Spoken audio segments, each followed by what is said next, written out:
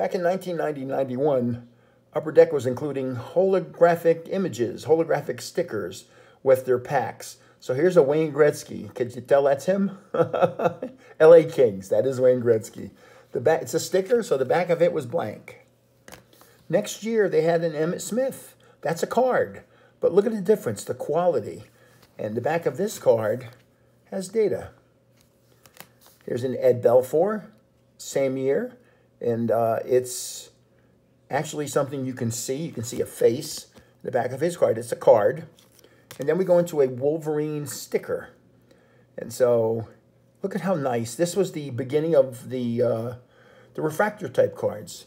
And this one, it actually says on the back, uh, this is the first time they were shot by a laser beam that wasn't used as a weapon against them. So this is Grandpa's Cards. Please hit subscribe and like and send me any questions you have. Thank you.